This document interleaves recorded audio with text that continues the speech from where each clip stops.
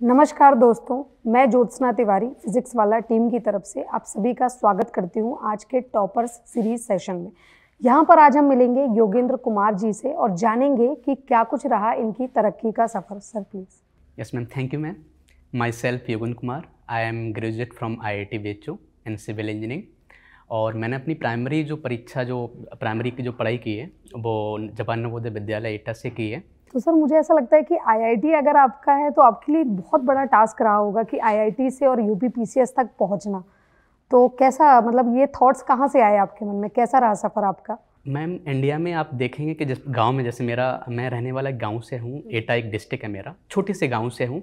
गाँव में आप जब स्टार्टिंग में जब पढ़ाई करते हैं तो सबसे पहले क्या बोला जाता है कि मेरा बेटा डीएम बनेगा आईएएस बनेगा। यही सिखाया जाता है। हम तो जानते भी नहीं थे कि इंजीनियरिंग क्या होती है। जब मैं नवोदय में गया तब पता चला कि बीटेक भी होती है आईआईटी से। और वहाँ से जाने का फ़ायदा यह है कि जॉब आपकी अच्छी लगती है। तो इसलिए मैंने आई की तैयारी की थी लेकिन मेरे अंदर थाट जो था कि मुझे आई बनना वो बचपन से डाल दिया गया था। तो हुआ क्या था कि सबसे बड़ी बात क्या थी जब मैं आई में गया तो मेरा माइंडसेट पूरा चेंज हो गया। क्योंकि मैं जब सेमिनार्स अटेंड करता था तो आपने देखा होगा एंटरप्रेन्योर तो आपने देखा होगा बहुत से सेमिनार्स होते रहते हैं आई में। तो अच्छा माहौल था आईआईटी में डिफरेंट डिफरेंट लोगों को सुनना। और आईटी में सबसे ज़्यादा जो सबसे बड़ी चीज़ है ज़्यादा बातें होती है वो एंटरप्रनोरशिप की होती हैं कि हमें एंटरप्रनोर बनना है। तो मेरे लिए तो नया था कि गाँव में तो ऐसी बातें नहीं सुनते हैं। तो मैंने भी 2017 के बाद एक स्टार्टअप शुरू किया था मैम। लेकिन हुआ क्या कि जैसे ही कोविड स्टार्ट हुआ तो फेल हुआ। तो जब फेल हुआ तो घर वालों ने यही बोला कि लगता है तुम ये नहीं करो ये तो बड़े लोगों का पैसा वाले लोगों का वो एक बैकअप होना चाहिए। तो फिर मैंने 2019 से यूपीएस की तैयारी करना स्टार्ट किया था। फिर यू में ये मेरा फ़र्स्ट अटैम्प्ट था तो उसमें हो गया था। तो फ़र्स्ट अटैम्प्ट में ही आपने क्लियर कर लिया था yes, राइट तो सर मैं एक क्वेश्चन यहाँ पे आपसे करना चाहूँगी कि चूँकि जैसा कि आपने बताया कि आप एक आई थे तो डेफिनेटली प्लेसमेंट वगैरह के आपके पास एक अच्छे ऑप्शंस रहे होंगे। तो फिर उनसे जाकर के यूपीएससी कैसे चुना आपने? क्योंकि प्लेसमेंट में नो डाउट कहते हैं कि अच्छी चीज़ें आपको देखने मिलती है और कुछ बहुत बेटर मिलता है। तो वहाँ से फिर यूपीएससी में टर्न होना क्योंकि आपको पता था कि मुझे पेशेंस रखना होगा। अगर मुझे पीसीएस निकालना है या यूपीएससी निकालना है तो आपको पेशेंस रखना होगा। तो फिर कैसे? क्योंकि कम टाइम में जल्दी ज़्यादा पैसा तो सभी कमाना चाहते हैं। तो फिर वो कैसे होगा? एक बहुत अच्छी स्टोरी है मैम जब मैं जो आई की कोचिंग था मैंने कहीं से पेड नहीं किया है। मैं सुपर थर्टी आपने नाम सुना होगा। हाँ हाँ एक सुपर हंड्रेड कोचिंग है कानपुर में। उसको गेल हम्म। गेल ने स्पॉन्सर किया है। हम्म, तो हम्म। मैंने वहाँ से इसका तैयारी किया था। तो वहाँ पर एक प्रोफेसर थे जो पढ़ाने आते थे फिजिक्स तो ये बोलते थे कि तुम्हें पैसा कमाना है तो आईआईटी में जाइए। ठीक है?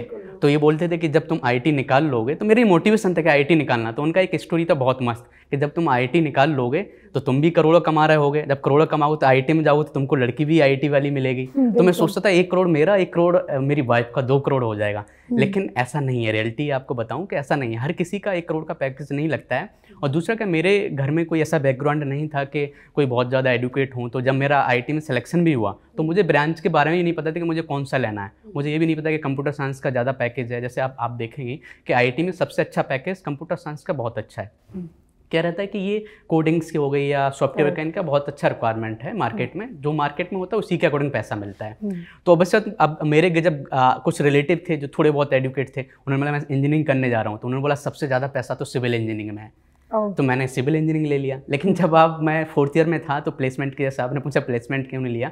आप देखेंगे कि आईआईटी में मैक्सिमम कंपनीज़ आप मैकेनिकल इंजीनियर से या सिविल इंजीनियरिंग से हो फ़र्क नहीं पड़ता। मैक्सिमम के एनालिस्ट मार्केटिंग या कोडिंग यही कंपनीज़ आती हैं। सिविल का एक दो कंपनीज़ आएँगे। तो मैंने देखा यार सिविल इंजीनियरिंग किया है और मैं देखूँगा मार्केटिंग में जा रहा हूँ तो मैंने प्लेसमेंट नहीं लिया इसलिए। हम्म, हम्म, तो चलो स्टार्टअप एक मेरे लिए नया था। तो एक सीनियर हम्म। थे उनके मैं कॉन्टैक्ट में था बोले स्टार्टअप करते हैं। बहुत कुछ सीखने को मिलेगा इसलिए स्टार्टअप शुरू किया था। जब फेल हुआ था स्टार्टअप तब मैं यूपीएससी में आया 2019 ओके में। तो सर जैसा कि आपको पता है कि आप आई हो और उसके बाद आपने यूपी पीसीएस की तरफ़ रुख किया तो एक बहुत बड़ा टास्क आपके सामने उस समय पर क्या था कि कहाँ से शुरू करें कैसे क्या कुछ किया आपने? यस मैम जैसे मैंने आपको बताया कि जैसे मैं 2017 में पास आउट हुआ तो मैंने एज ए स्टार्टअप स्टार्ट किया था हम्म। तो वो स्टार्टअप जब फेल हुआ 2019 में तो घर वाले ही बोल रहे थे कि ये स्टार्टअप आपके लिए नहीं है आपके लिए एक बैकग्राउंड होना चाहिए पैसे वाले घर से आना चाहिए। तो मैंने चलो ठीक है फेल हो गए तो घर वालों की बात ही मान लेते हैं। तो उसके लिए मैंने 2019 में एज ए यू की तैयारी करना स्टार्ट किया था लेकिन यूपीपीसीएस के लिए मैंने नहीं सोचा था। तो जब मैंने दोस्त ने बोला कि यार एक बैकअप रखना चाहिए आपने देखा होगा एक सीरीज़ आई है एस्परेंट सीरीज़ आपने सुना होगा बहुत ज़्यादा फ़ेमस हुआ तो वहाँ से बी प्लान एक था। हाँ। तो ऐसे बी प्लान मैंने यू पी को देना स्टार्ट किया और लकी था कि मैंने पहली अटैम्प्ट में इसको दिया। तो प्रॉब्लम्स की बात करें मैम जैसे होता क्या है कि आप यू या यू की तैयारी करते हैं तो उसमें सबसे बड़ी जो चीज़ आपके अंदर जो होना चाहिए वो पेशेंस होना चाहिए। ऐसा नहीं कि आपने किया तैयारी कि छः महीने में आपका निकल जाएगा, एक साल में निकल जाएगा। निकलते भी लोग ऐसा नहीं नहीं निकलता है, लेकिन सही डायरेक्शन मिल जाती है अच्छा लक होता है, मैं मानता हूँ लक मानी करता है। जैसे मैं बताऊँ, मेरा यूपीएससी में पहले अटैम्प्ट मैंने जीएस का निकाला जो इसको प्रिलिम्स बोलते हैं, मेरा अच्छा खासा मार्क्स था 114 के आसपास मार्क्स था, लेकिन सी सेट नहीं निकला। तो अब मैं आई से मेरे दोस्तों ने मज़ाक बनाना स्टार्ट किया कि भाई आई से हो, क्यों नहीं सी सेट निकला? तो मेरा कहना क्या चाहता हूँ, मैं आई से होने के बावजूद भी मैं सी सेट नहीं निकाल पाया। कहते हैं हार्ड वर्क सबसे बड़ी चीज़ है। आप हार्ड वर्क करो तो किसी को भी बीट कर सकते हो। तो तो सर, मैं ये जानना चाहती हूँ कि जब हम एक जर्नी शुरू करते हैं, जैसा कि आपने बोला कि यू पी कोई छोटा टास्क नहीं था, अपने आप में बहुत बड़ी चीज़ थी तो इस जर्नी के दौरान बहुत सारे अप्स एंड डाउन्स भी आए होंगे। है ना? मतलब सम टाइम आपको ऐसा कहीं पे लगा होगा कि अब आप डिमोटिवेट हो रहे हो अब आपको गिव अप करना चाहिए। तो उस सिचुएशन में आपने कैसे टैकल किया था? मैम ये जर्नी मोटिवेट कंटिन्यू आप कैसे रहे? यस मैम बहुत से लोग आपने सुना होगा बहुत से इंटरव्यू देखे होंगे आपको यूट्यूब पर बहुत से वायरल इंटरव्यू देखते होंगे। हम्म। कब कुछ लोग बोलते हैं कि यूपीएससी और पीसीएस रैली में एक तपस्या है। इस तपस्या के लिए आपको बहुत से अप होते हैं। मैं बताऊँ कभी कभी मुझे भी एक डिप्रेशन जैसे लक्षण आते थे कि नहीं यार मुझे सही से नींद नहीं आ पा रही है। जो भी है प्रॉब्लम्स आती हैं। लेकिन कहते हैं कि जब आपका गोल सही है उसको डेली रिमेंबर करो। कहीं यार मुझे ई निकालना है या पीसीएस निकालना है। तो उसके लिए कि आपका मोटिवेशन बहुत ज़रूरी है? मोटिवेशन कि आप ड्रीम कनेक्ट करो अपने।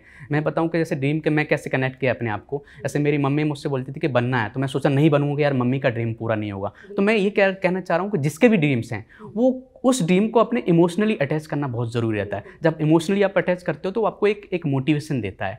एक बार मोटिवेशन नहीं रहेगा तो फिर पढ़ने में मन नहीं लगेगा तो और ये जर्नी लंबी जर्नी है और लंबी जर्नी के लिए आपको मोटिवेट रहना एक डेडिकेट रहना बहुत ज़रूरी रहता है। बिल्कुल। आ, मतलब मैं कह सकती हूँ कि एक वजह आपको ढूंढना बहुत ज़रूरी है। Yes, अगर आपको बराबर मोटिवेट रहना है तो। दैट्स ग्रेट ठीक। बिल्कुल। तो सर, मैं ये जानना चाहती हूँ कि स्ट्रेटजी वगैरह कैसी क्या रही? आपने मतलब प्रिपरेशन के दौरान आप मोटिवेट भी आपने बता दिया आप किस तरह से मोटिवेट थे, लेकिन उस दौरान स्ट्रेटजी आपकी क्या थी कि क्या मुझे ऐसा करना चाहिए या हमारे स्टूडेंट्स को बताइए कि उनको ऐसा क्या करना चाहिए कि वो प्रीलिम्स या मेंस हो या फिर फाइनल हम सिलेक्शन एक बार में ले लें? सबसे बड़ी जो प्रॉब्लम्स है, आज मार्केट में बहुत सी बुक्स हैं और बोलते हैं ना, बहुत से लोग बोलते हैं। आपने बहुत से एस्पिरेंट्स को सुना होगा जो सक्सेसफुल होते हैं कि ये जो यूपीपीसीएस या यू पी एस सी की जो परीक्षा हैं एग्ज़ाम्स हैं ये इनके लिए कंटेंट अथा है इनका कोई सिलेबस लिमिटेड नहीं है।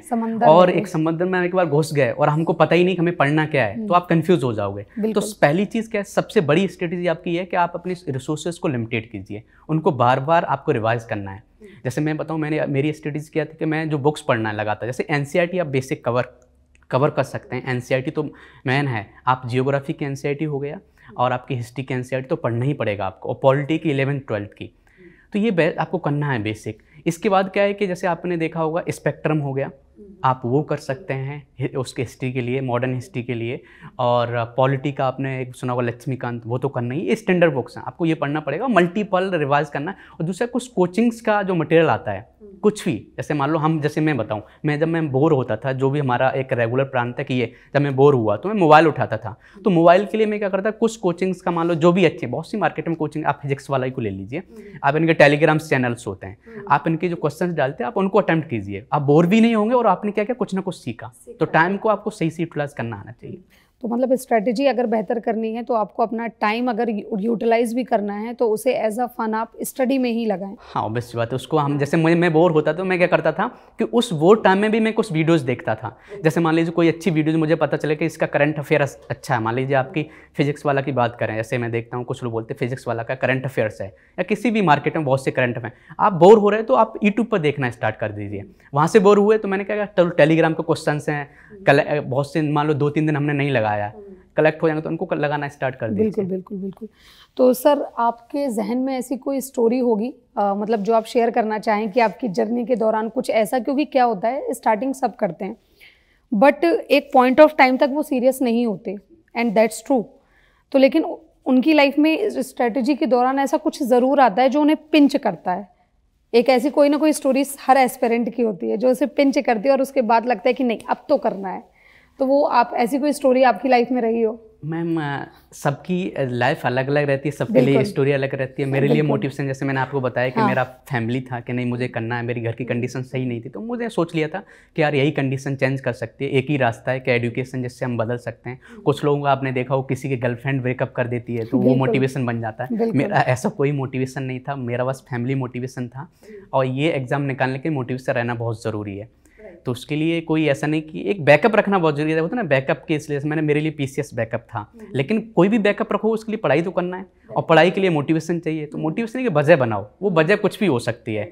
अब मैं मेरे दोस्त हैं कुछ दोस्तों के लिए कुछ रीज़न दूसरा है कि नहीं यार मुझे दिखाना है कि यार मैं प्रूव करना है। तो कैसे भी मोटिवेट रहना बहुत ज़रूरी है। कैसे भी आप मोटिवेट होइए। बिल्कुल। तो सर मैं ये जानना चाहूँगी कि कितने अटैम्प्ट आपको लग गए थे एक एग्ज़ाम क्वालिफाई करने में? जैसा कि आपने बोला कि आपने आपका जो पहला अटैम्प्ट था वो था यूपीएससी और आप मतलब बेसिकली उसी में आपने बैकअप प्लान को यूपी समझा था। तो फिर उसमें कितने अटैम्प्ट किए या यूपी पीसीएस में कैसा रहा सफ़र आपका उसमें मैम ई का तो मेरा सी सेट में वो जो हो सकते हैं नहीं क्वालिफाइड हुआ था लेकिन मैं इस बार फिर दूँगा उसके लिए सही से प्लान होकर दूँगा और ये ई का मेरा फ़र्स्ट अटैम्प्ट था और इसको सही से दिया इस बार मैं खुद फिर से दूँगा।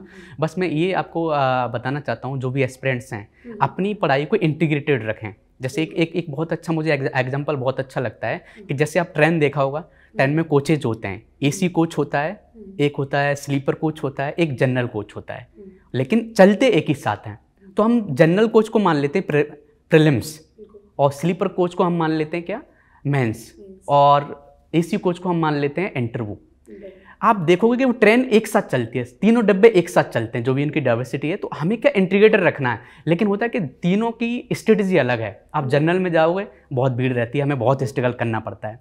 तो उसके लिए स्ट्रेटजी क्या है कि आप मैक्सिमम से मैक्सिमम क्वेश्चन लगाएँ। प्रैक्टिस करें कि यार, मेरे कितने मार्क्स आ रहे हैं, आप स्ट्रेटजी बनाइए बार बार दीजिए। और मार्केट में आपको बहुत से पेपर्स मिल जाएँगे टेस्ट सीरीज़ आप जितने लगा सकते हैं फिजिक्स वाला का भी और भी बहुत से मार्केट्स हैं। डिफरेंट आप लगाइए, जितनी आप डाइवर्सिटी से क्वेश्चंस लगाएँगे, उतनी आपको पता चलेगा मेरी कमी क्या है। फिर आता है मैंस मेंस के लिए क्या है? अब ये तीनों कहते हैं इंटीग्रेटेड है जैसे ट्रेन एक साथ चलती है, तीनों डब्बे एक साथ चलते हैं। लेकिन क्या है उनके कंपार्टमेंट अलग रहते हैं। दिमाग में आपके कंपार्टमेंट अलग रहने चाहिए कि नहीं, यार ये प्रेलिम्स है, ये मेरा मेंस है, ये इंटरव्यू है। तो सबको कमांड हो गए अब मेंस के लिए क्या है कि मेंस के लिए आपको प्रैक्टिस करनी है। मैंने एक चीज़ देखा है कुछ दोस्तों ने मुझे बताया कि फिजिक्स वाला का एक इनिशिएटिव बहुत अच्छा लगा, दूसरे से जो डिफरेंट है कि यूपीएससी टेलीग्राम इनका जो है, वो एक क्वेश्चंस डालते हैं डेली और फिर उसका एक आंसर्स आपको मिलता है। मैंने आंसर्स मॉडल मुझे कहीं नहीं मिलता था। मैंने देखा वहाँ मिलता है। आप डेली प्रैक्टिस कर सकते इससे क्या हुआ? आपका मेंस बहुत अच्छा होगा। और इंटरव्यू तो देखो आपकी पर्सनैलिटी है। ऐसा है कि एक दिन में नहीं बदल सकते। उसकी प्रैक्टिस आप करो। आप प्रैक्टिस कैसे करो दोस्तों से बात करो। बात करोगे वो क्वेश्चन पूछेंगे तो आपको बात करने का तरीका चलेगा। डिफरेंट डायमेंशंस पता करें। और होता क्या है कि आप यू की तैयारी करते हैं मैम आप यू की तैयारी करते हैं तो आपकी पर्सनैलिटी ऑटोमेटिक बदल जाती है। खुद अच्छी हो जाती है। बस आप उसको थोड़े मॉडिफाइड करने की ज़रूरत है। बिल्कुल।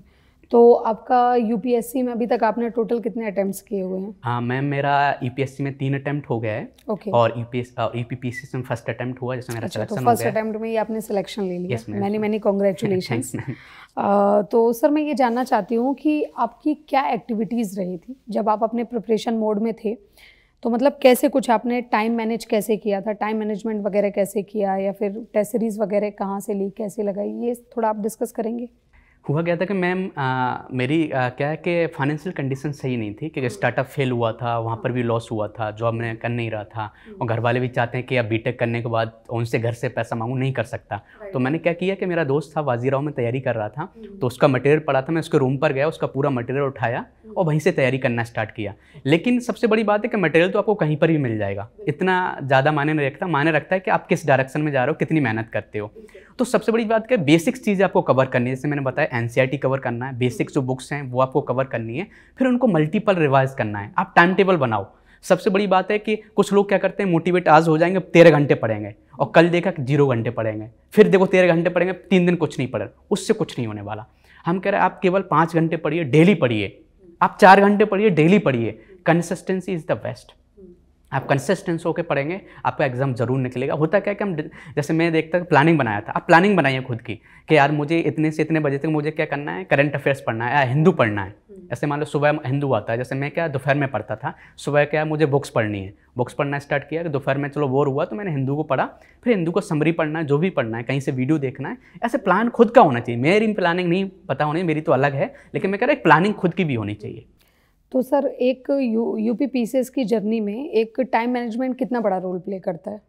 मैम यू पी के लिए नहीं, किसी भी एग्ज़ाम के लिए टाइम बहुत ज़्यादा माने रखता है क्योंकि होता क्या है कि आप टाइम को कैसे यूटिलाइज करते हो? हर किसी के पास बारह घंटे हैं दिन के। अब बारह घंटे कोई दूसरा पढ़ता है, उस यूटिलाइज करता है, उसका एग्ज़ाम नहीं निकल जाता है दूसरे का नहीं निकलता है। रीज़न क्या है कि उनकी प्रोडक्टिविटी क्या रही? आप सही से बैठिए, घड़ी लगा के बैठिए। आप एक महीने आपको देखिए घड़ी लगा के कि हमने एक महीने में इतने घंटे पढ़ा, हमने क्या कवर किया, कितना ख़त्म किया, सच में खत्म। उसका आप टेस्ट सीरीज़ लगाएँगे कि हमारा कितना सही हो रहा है। उसको एनालिसिस कीजिए। एनालिसिस करना बहुत ज़रूरी है। जैसे मैं बताऊँ प्रिलिम्स की बात बताता हूँ। प्रिलिम्स अभी आने वाला भी है चौदह मई को है यू पी का और यूपीएससी का ट्वेंटी मई को। अभी हमारे पास ज़्यादा टाइम भी नहीं है टू से थ्री मंथ हैं। आप कैसे इस टाइम में हम क्या कर सकते हैं? इस टाइम में हमें टेस्ट सीरीज़ जितनी से ज़्यादा लगा सकते हैं जितनी भी डायरेक्ट टेस्ट सीरीज़ लगाइए आप कितना मार्क्स लेके आ रहे हैं आप पिछले साल का कट ऑफ़ देखिए कम आया कोई बात नहीं। मैं बताऊँ सच बताऊँ मैं मेरा पहली बार जब मैंने दिया था विजन का दिया था टेस्ट सीरीज़ जो भी मार्केट में मिल जाता है उसमें मेरे मार्क्स कितने आए थे? ऐसे आए थे लगभग फिफ्टी कितने में से? टू हंड्रेड में से। अब मैं तो डिमोटिवेट हो जाता है यार मेरा एग्ज़ाम नहीं निकलेगा। ठीक है नहीं आया मैंने एनालिसिस किया फिफ्टी सिक्स से फिर मैं एट्टी गया एट्टी से वन टेन भी गया तो मुझे लगा कि ठीक है और इस एग्ज़ाम में और रियल एग्ज़ाम में बहुत डिफरेंस होता है। अब बस प्रैक्टिस करिए प्रैक्टिस आपको क्या अच्छा बनाता है। हम्म। तो सर मैं बताना चाहूँगी कि किस तरह के क्वेश्चंस वगैरह आते हैं? आप थोड़ा एस्पिरेंट्स को बता सकते हैं कि क्वेश्चन का लेवल क्या होता है कैसे अटेम्प्ट करें? मतलब जब एक बार पेपर आपके सामने आता है तो उसको कैसे डील करें हम उसके साथ? हाँ ये तो स्टडीज़ बहुत क्योंकि एक समय के लिए हेजिटेट हो जाते हैं स्टूडेंट yes, yes, कि सब हौच पौच हो जाता है कैसे करना है? उस समय पर क्या किया जाए? एक सबसे बड़ी बात है कि मैं एक एक स्टोरी आपको सुनाना चाहता हूँ। हाँ, सबसे अच्छी स्टोरी क्या है कि जैसे एक आप पढ़ाई करते हो तीन तरह के लोग होते हैं। मैं मेरा जो स्टेज में ऐसा सोचता हूँ हम्म। कि आपने दूध मिल्क देखा होगा मिल्क होता है। मिल्क को लोग किसमें बदल लेते हैं? दही में बदलते कर्ड बदलते हैं दही को कुछ लोग घी में बदल लेते हैं। तो तीन तरह के लोग होते हैं। अब तीनों में से आपको क्या बनना मैं बताऊँगा कि कुछ लोग क्या करते हैं अपनी पढ़ाई को हमेशा मिल्क की तरह रखते हैं। आप मिल्क को ज़्यादा दूर तक नहीं ले सकते आप ले जाओगे फट जाएगा। दही को आपने दही की तरह तैयारी करो तो क्या हो जाएगा? वो दही को भी लेके जाओगे वो क्या हो जाएगा? मट्ठा बन जाएगा देखा और दुर्गंध देने का लेकिन घी क्या होता है? घी को आप कहीं पर भी ले जाइए आपको एक सॉलिड एक वैसा ही रहेगा। तो अब कहने का मतलब आप जो पढ़ाई कर रहे हो ना, उस पढ़ाई को वो आपके पास एक रॉ मिल्क है। उस मिल्क को हमें घी में बदलना है। वो लोग बहुत से पढ़ते हैं, ऐसा पढ़ते हैं कि उसको कंफ्यूज हो जाएँगे, हमने पढ़ा क्या? आपने जो भी पढ़ा, एक चैप्टर पढ़ा, उसको आप खुद के नोट्स बनाइए। खुद के नोट्स ही आपके घी है, जो आपको बोल सकते हैं। ऑयल जो भी आपको बोलना है तो उसको घी में कन्वर्ट करना है। ये नहीं कि हम कन्फ्यूज़ होकर आज पढ़ा, उसको हमने कुछ समरी नहीं निकाली। समरी निकालना है। आप जैसे एग्ज़ाम में ऐसे U P P S S के हम प्रिलिम्स की बात करें 150 क्वेश्चन आते हैं। तो 150 क्वेश्चंस को आप सही से एनालिसिस कीजिए। 150 में आप देखेंगे 30 क्वेश्चंस के आसपास उसका आता है करंट अफेयर्स हम्म। तो करंट अफेयर्स को कवर करना बहुत ज़रूरी है। आप करंट अफेयर्स को कैसे कवर करेंगे? करंट अफेयर्स यू पी में एक एक बहुत जैसा देखेंगे जो ऐसा स्टेटस रहता है कि उनका जनवरी से लेके अप्रैल तक के ज़्यादा आते हैं। तो हमें जनवरी से फरवरी जो भी अप्रैल तक है अच्छे से करंट अफेयर को कवर करना है बहुत अच्छे से डेप्थ में जाके। तो थर्टी क्वेश्चंस करंट के आते हैं तो आप एक साल का कवर आपको करंट अच्छे से करना पड़ेगा। कहीं से भी कोचिंग्स होगा कहीं से आप कर सकते हैं। दूसरा क्या है कि हिस्ट्री का बहुत बड़ा पार्ट आता है मैम हम्म। और रिपीटेड क्वेश्चन आते हैं। तो मैं बताऊँ मेरा सोर्स क्या था? यूपीपीसीएस के लिए सही से पढ़ने घटना चक्र बहुत अच्छे उनके क्वेश्चन आते हैं। आप बार बार प्रैक्टिस कीजिए उसका बार बार लगाइए तो आपको क्वेश्चन ऐसे मिलेंगे दस से बारह क्वेश्चन ऐसे होंगे जो रिपीट होंगे। ऐसी दूसरा जियोग्राफी का बहुत अच्छा पोर्सन आता है और हिस्ट्री का बहुत अच्छा पोर्सन रहता है तो हिस्ट्री को हमें कवर करना है और साइंस टैग साइंस टेक का भी आप प्रैक्टिस कर सकते हो घटना चक से और ना तो डिफरेंट डिफरेंट कोचिंग्स भी निकालती हैं वहाँ से प्रैक्टिस कर सकते हो। तो ये करना बहुत तभी निकलेगा प्रीलिम्स तो या यूँ कहें कि जो प्रीलिम्स अगर हमें क्वेश्चन अटैम्प्ट करने हैं तो पहले हमें उन पर फोकस करना चाहिए जो हमसे बन रहा है। है ना? रिस्क लेने की बजाय। हाँ ये भी आपका सही क्वेश्चन था मैं इसको भी थोड़ा एक्सप्लेन करता हूँ। होता क्या है कि निकालने से आपने देखा होगा कुछ लोग आपको स्ट्रेटेजी बताते हैं कि उन्हीं क्वेश्चंस को अटैम्प्ट करो जो आते हैं। हाँ। लेकिन ऐसा नहीं है सच बताऊँ। करना क्या है कि 150 क्वेश्चन आते हैं यूपीपीसीएस में। आप 130 से कम करोगे ना मैम तो आपके 50 परसेंट चांसेस कम हो जाते कि आप नहीं होगा आपका। ओके। okay. आप 130 से अब करिए आप करके देखिए। आपको नई नई चीज़ आपने हमारे एस्पिरेंट्स को हाँ, बताई है। तो होता क्या है कि जैसे कुछ लोग ऐसे मान लो सौ क्वेश्चन हम्म। उनको आते हैं हम्म। और सौ उन्होंने अटेम्प्ट किया। हम्म। अब मान लीजिए सौ उन्होंने अटेम्प्ट किया सौ में से बीस क्वेश्चन गलत होगा। कितने बच्चे? एट्टी कट ऑफ़ कितना जाता है? नाइन्टी जाता है नहीं होगा ना। तो कहने का आपको वन थर्टी करना ही पड़ेगा। आप वन हाँ। थर्टी करोगे बीस गलत होगा।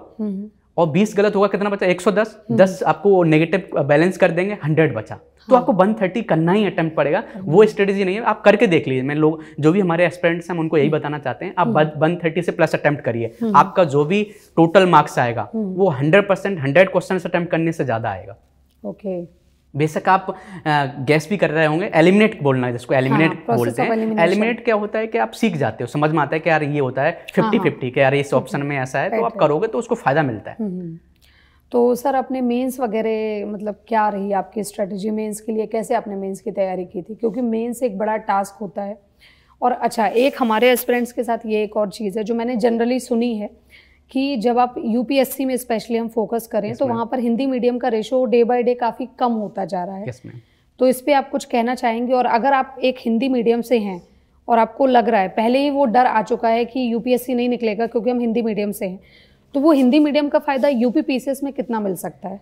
मैम ऐसा नहीं कि आप हिंदी मीडियम से या इंग्लिश मीडियम से वो हम्म। कोई ज़्यादा फ़र्क नहीं पड़ता है। आप हम्म। हिंदी मीडियम के भी सिलेक्शन हो रहे हैं यूपी पीसीएस में। हम्म। ये अलग बात है कि मैक्सिमम लोग इंग्लिश मीडियम से देते हैं तो रिज़ल्ट भी मैक्सिमम लोग इंग्लिश मीडियम के होते हैं। लेकिन आप रिज़ल्ट देखिए। आपका जो भी फाइनल रिज़ल्ट आता है वो हमारे मेन्स के एग्ज़ाम से आता है। प्रीलिम्स का तो मतलब क्या कि आपने केवल आपको एक शॉर्ट लिस्टेड कर दिया सेकेंड स्टेज के लिए। मैन जो आपका रिज़ल्ट है वो मेंस पर डिपेंड करता है। तो मेंस में वही जीतेगा जिसने प्रैक्टिस ज़्यादा की होगी। उसका भी टेस्ट सीरीज़ आता है क्वेश्चन लिखना स्टार्ट किया। जैसे मैंने आपको बताया कि जैसे आपकी आपकी टीम जो फिजिक्स वाला टीम है टेलीग्राम पर एक क्वेश्चन डालती है। बता एक क्वेश्चन आप डेली प्रैक्टिस कीजिए। आप एक क्वेश्चन लगाएँगे डेली एक मंथ में कितने होंगे? थर्टी क्वेश्चन होंगे। थर्टी क्वेश्चन और मैं सच बताऊँ मैम मैंने सच बताऊँ दो पेपर लिखा था। हम्म। और दो पेपर लिखा था उसका फ़ायदा हुआ कि मेरा हो गया। अब मैं दस पेपर लिख लेता हो सकता है मैं एसडीएम बन जाता। डेफिनेटली तो आपको रिटर्न की प्रैक्टिस करनी पड़ेगी। आप ये नहीं कि मैंने पढ़ लिया है वहाँ जाके हम प्रैक्टिस कर लेंगे। सोचने में और करने में बहुत डिफरेंस आता है आपको खुद समझना आ जाएगा। जब लिखोगे तो बोलोगे यार हमारा पेन ही नहीं चल रहा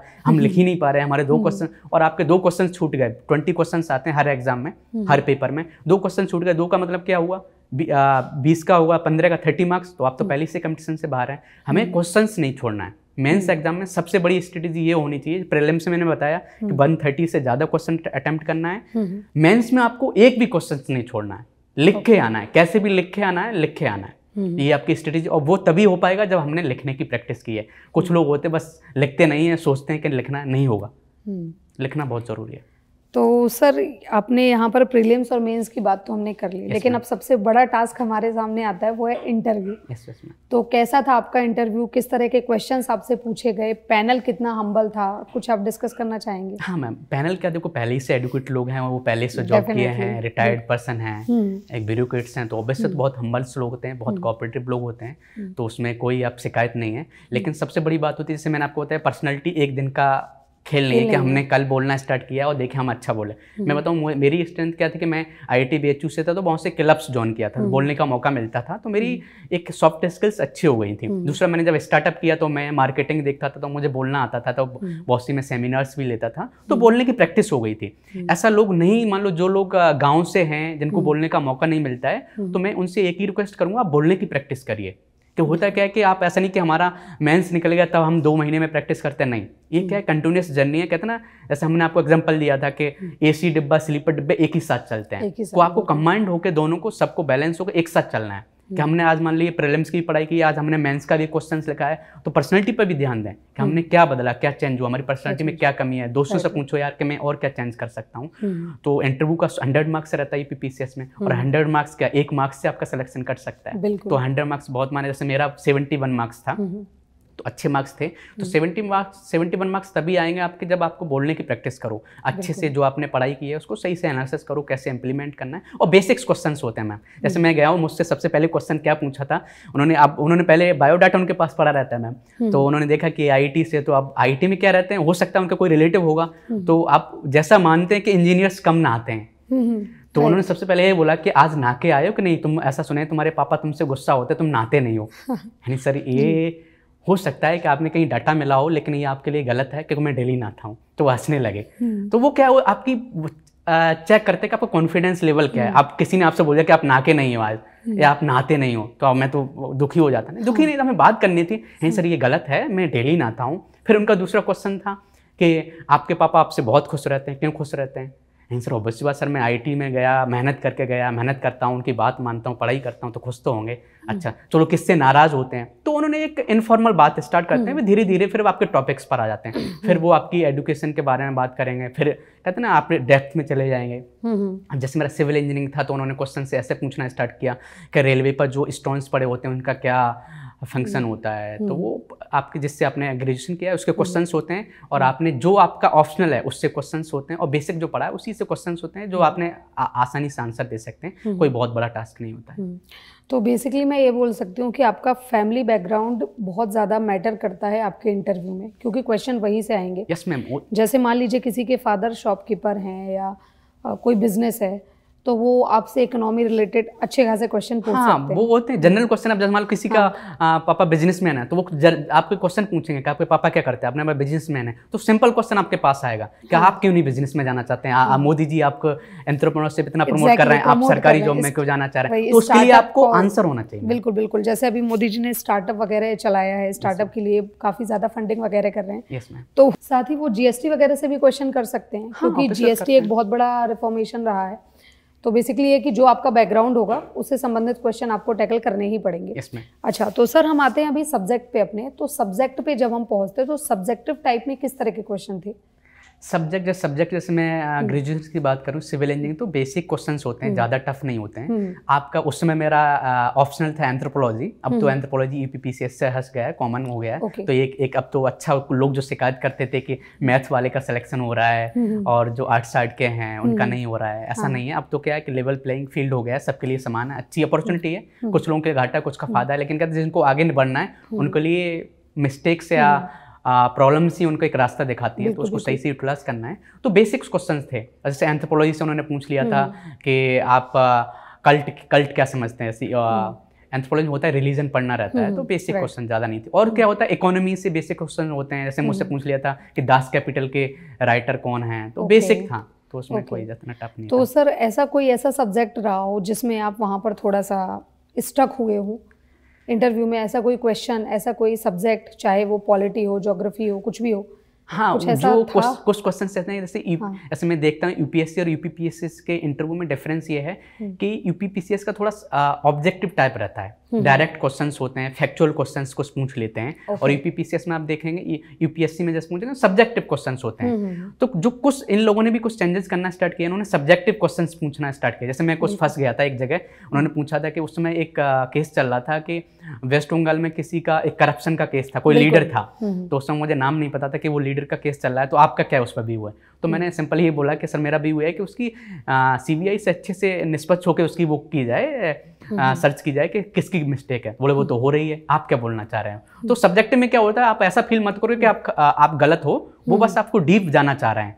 आप हो। सकता है आप डर जाओ कि यार सर को पता नहीं सर क्या जानना चाह रहे हैं। आप अपने व्यू सही तरीके से जो आपको लगता है वो रखो।